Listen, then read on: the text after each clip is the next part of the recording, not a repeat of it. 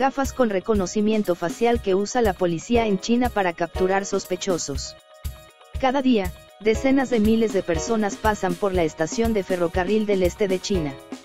Pero para saber si una de ellas cometió un delito, la policía tan solo tiene que mirar a través de sus nuevas gafas inteligentes. Del otro lado del lente de cristal tintado, el agente puede tomar una foto y tener acceso inmediatamente a una base de datos interna de sospechosos. La idea es poder identificar rápidamente a los fugitivos y controlar más a nivel estatal a cada una de las personas que transitan por las megaciudades del país. La clave detrás de su funcionamiento es una tecnología que no ha dejado de crecer en China en los últimos años, el reconocimiento facial. El dispositivo les permite a los agentes tomar una fotografía de un sospechoso y compararla con las imágenes que tienen almacenadas en la base de datos.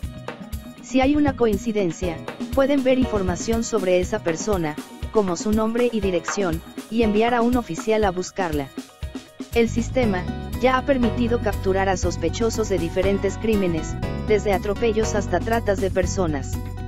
Estas gafas permiten reconocer a individuos de una base de datos de 10.000 sospechosos en tan solo 100 milisegundos, aunque advierte que los niveles de precisión pueden variar debido a ruido ambiental.